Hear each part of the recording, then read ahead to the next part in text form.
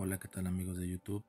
Aquí su amigo Talo Rider trayéndoles un, nuevo video. Eh, es mi nueva experiencia aquí como siendo motoblogger, haciendo videos en moto. Lo único que pues, quiero compartirles es de que se animen a rodar, se animen a conocer nuevos lugares, en la cilindrada que tengas, en la cilindrada que sea. Yo aprendí en cilindradas muy pequeñas.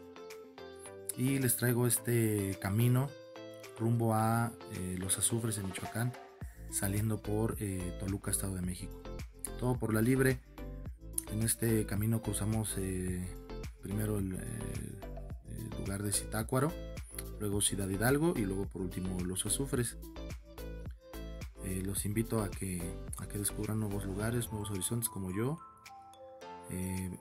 yo voy con mi esposa en una cilindrada pues es alta 750 pero vamos a un ritmo tranquilo porque ya que vamos con bastante equipaje y somos dos personas pues bastante altas. Pero la moto va súper bien, va sobrada, sin exigirle de, más.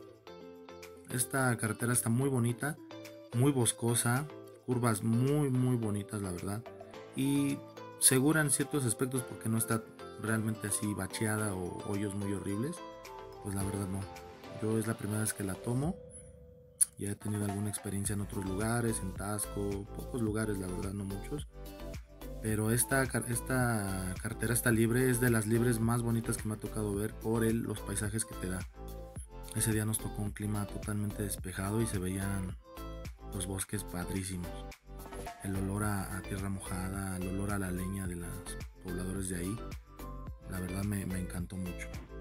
Les animo a que conozcan esta nueva ruta de gastos. Yo me habré de pura, de pura gasolina me gasté 400 pesos y eso yéndome tranquilo. De casetas pues nada más pagué dos. La de Villa Victoria que fueron de 17 pesos cada una. Y por el momento solo de gastos de tanto de gasolina como de casetas sería ese. Eh, bueno amigos los dejo con unas tomas aquí de la libre a Citácuaro. Espero las disfruten hermanos y les comento, anímense a salir a rodar y conocer nuevos lugares. Hasta luego, banda.